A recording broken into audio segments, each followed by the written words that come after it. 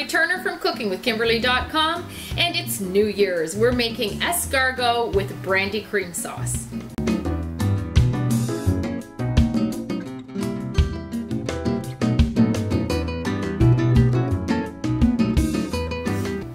On my stovetop, I have prepared a medium-sized saucepan with water and a little bit of salt and a bay leaf. That's going to boil some pasta shells. I have some large pasta shells. Now, if you have escargot, if you're lucky enough to find escargot that has the actual shell with it, more power to you. But it's very hard to find those anymore. So we had the ingenious idea, mom had the ingenious idea, of using these pasta shells to stuff our escargot into. And I think it's gonna be a beautiful presentation. Not to mention, it's going to be delicious alongside this dish. So, preparing that, and I have a frying pan on my stove top on a medium high heat. I have a couple tablespoons of olive oil. I'm gonna add butter to that right before I start sauteing my shallots and a clove of garlic. So I have a shallot, which is just like a small onion. It's a sweeter uh, flavor than a regular onion. And they're just tiny little guys. So I'm going to finely dice that.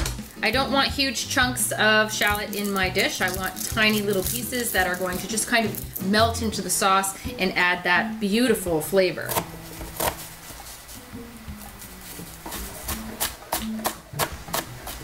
Into my frying pan, Not much goes better with escargot than butter. I'll put a tablespoon in. I'll turn that down to a medium heat and I want these to kind of sweat. You just want them to become translucent and soft and delightful. Oh, it smells great in here already. Seafood is a tradition in our household on New Year's. I'd much rather stay home and eat seafood than go out and party. So I've got one large clove of garlic I'm using. Oh yeah, we're doing it up tonight person who doesn't like onion and garlic in our house will not be eating this. they don't also don't like cream, so hey, we're doing it up. Cream, garlic, onion. Nice. Finely, finely mince that. If they're little tiny cloves, you might think of adding two. All right, I'm gonna add my garlic. Don't add your garlic too early. Garlic tends to get bitter once it starts browning, so you don't want to go to go too brown while you're still trying to saute your shallots or your onions. Now I have these very traditional escargot plates that have reservoirs, six reservoirs each. So I'm going to be boiling up at least 12, one dozen, perfect shells, and I'm also going to do a couple more just in case we have an issue with one of them or two of them.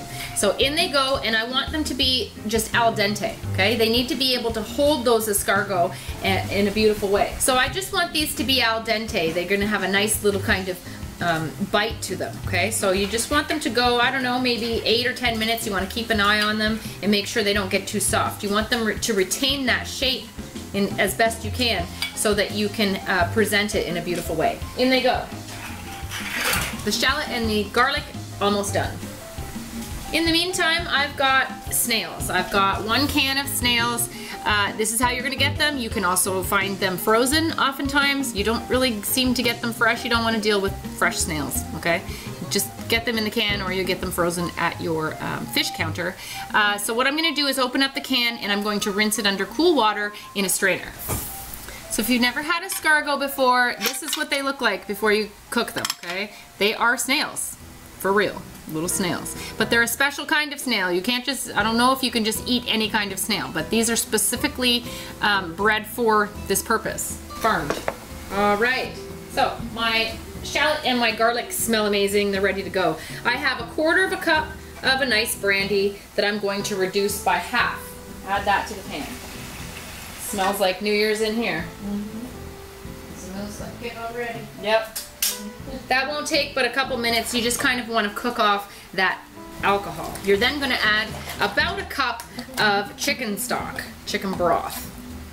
Use your own or you can buy one at the store. Escargot is one of my favorite things from childhood. Uh, my parents would cook them all the time on New Year's. We would eat them out at restaurants. That's a kind of a retro thing now. Uh, but they had escargot on many menus in different restaurants that you would go eat at. And that was one of my favorite things as a child to order and to eat. And mom and dad would also make it throughout the year. One of my favorite things to this day.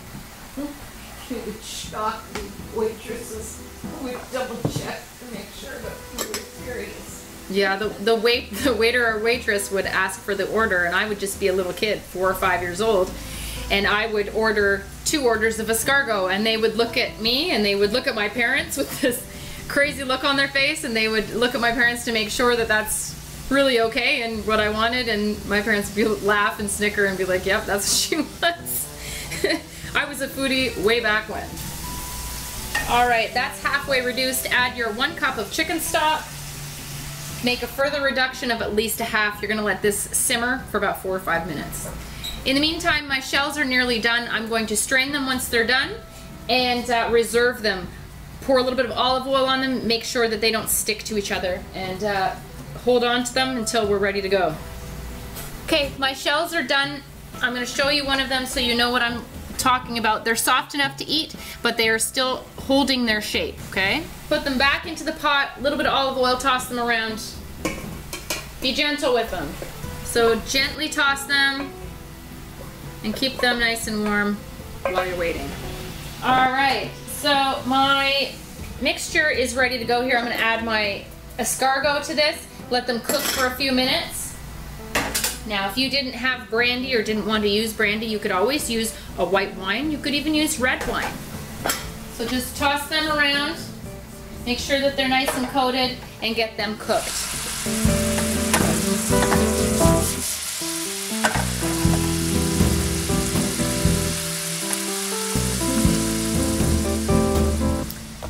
Half a cup of cream ready and waiting. I'm also going to freshly crack some black pepper. At this point, I'm going to add a little bit of this gorgeous freshly cracked pepper. It would be great if you added a little bit of chili flake if you wanted. I'm going to chop some fresh parsley, a nice handful's worth. I'm going to put some in the sauce, and some of it is going to be used as a garnish after for a nice pop of green. Just finely mince that up. This is a nice quick dish that's gonna pack a lot of excitement. It's fancy for the holiday. It'd be also a marvelous dish for Valentine's Day or Mother's Day, Father's Day, birthday. In the pan, turn the pan off. The escargot don't take long to cook. Get them all nice and coated up. Stir in that parsley and pour in that cream half a cup of heavy cream. Stir that through. That looks amazing. All right, so mince the rest of your parsley. Save that for garnish. Okay, so I'm going to start assembling this. Arrange your shells on the presentation plates. Looks like I'm going to be able to add five of these. Use your best noodles, ones that haven't cracked. I might be able to add six here. All right, you want them open side up. All right, so look at how delicious this looks like already. I could just sit here with a spoon and eat that all by myself. but I will not do that tonight. I'm going to share with my mom. Here we go. You're going to start scooping your escargot with a teaspoon into these shells.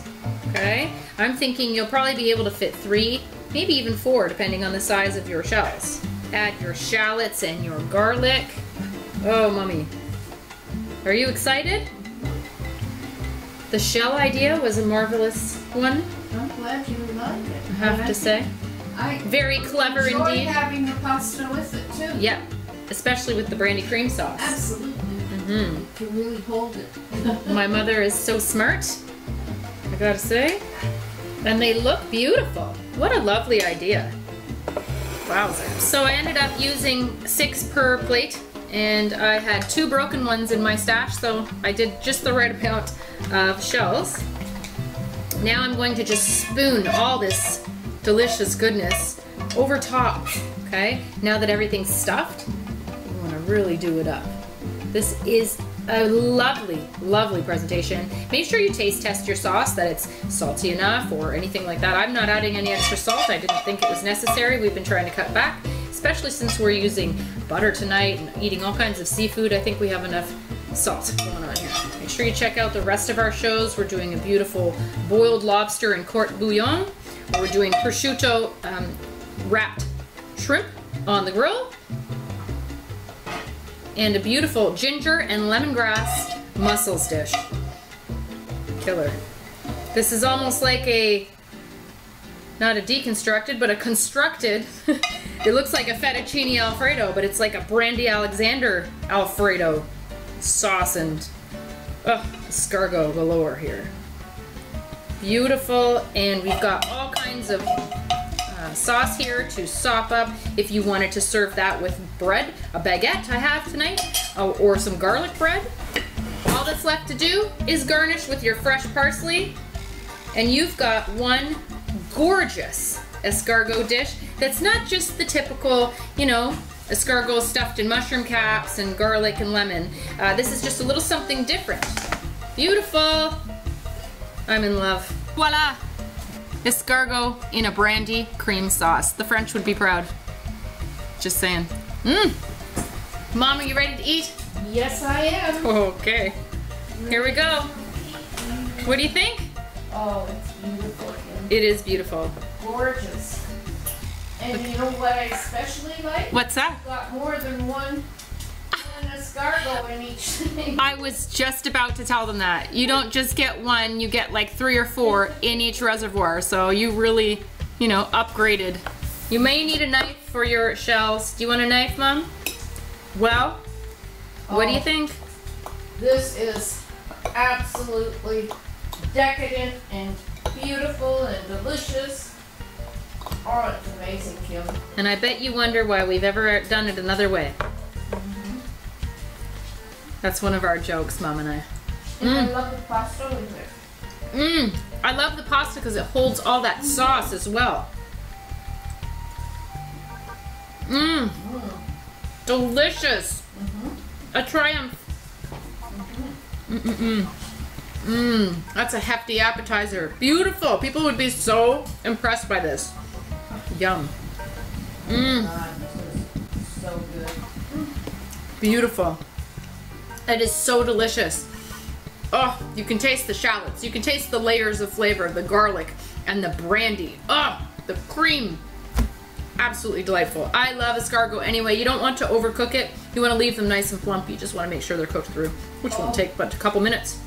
And Nice. The shells have soaked up all that wonderful cream. They're Oh, soaking it up. I might even use a little baguette to get the rest of the cream that goes into the reservoirs. Beautiful. Anyway, that's how you do it. That's how you cook escargot in a brandy cream sauce. Please try it. Let us know what's going on, how you feel about it, because it's delightful. That's it. Happy New Year, everyone. Wow, what a year. Just saying. Happy New Year 2019. Uh, looking forward to it, all right? That's it. Follow me on Twitter at Cooking with Kim E with a capital E. Like the fan page at facebook.com slash cooking with Kimberly. Check out my Instagram.com slash web chef of all trades. You can find my shows on youtube.com slash cooking with Kimberly and come to my website at cookingwithkimberly.com. Interact with us and subscribe. Let us know what's going on in your culinary world, all right? Be a champion in your kitchen and eat deliciously.